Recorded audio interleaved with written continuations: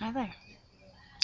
So I'm sitting here in my dad's flower shop, and I just went through my sketchbook and found. Oh, found that. Found it. I did it. It's mine. Ah! I didn't trace it. I didn't do anything like that. I looked off of a picture of Mitchell Davis. If you don't know who Mitchell Davis is, type in type in the name Mitchell Davis up here. Think it's up here. It's up there. The little bar thing.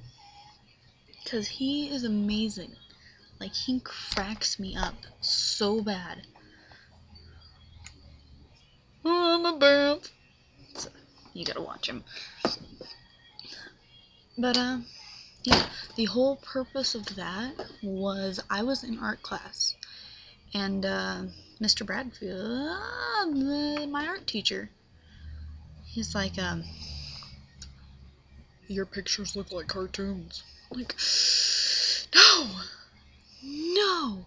Do you understand how hard I work, like, to make them not look like freaking anime characters?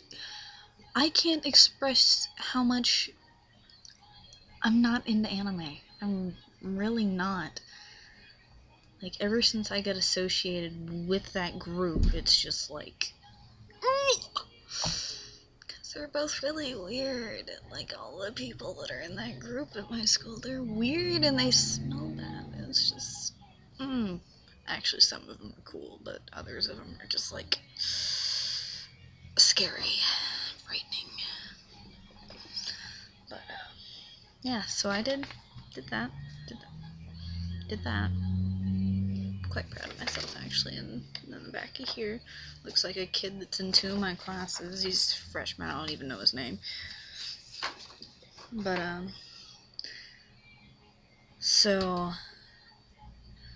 art teacher eh, didn't like my cartoon, so did some more to be like, ha, ha. I made these. I made them, and they look real, hobo. They look real ish.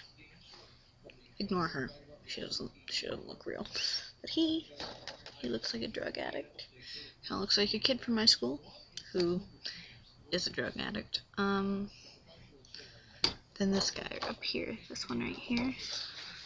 Now, at first he looked like Adam Lambert until I like messed with his eyeballs and his nose and then it's like complete transformation. It's got gauges. I don't know. Anyway, just kind of wanted to uh, point that out. If you want to, you can uh, leave a little comment thingy at the bottom or video responses, even though nobody will leave me one.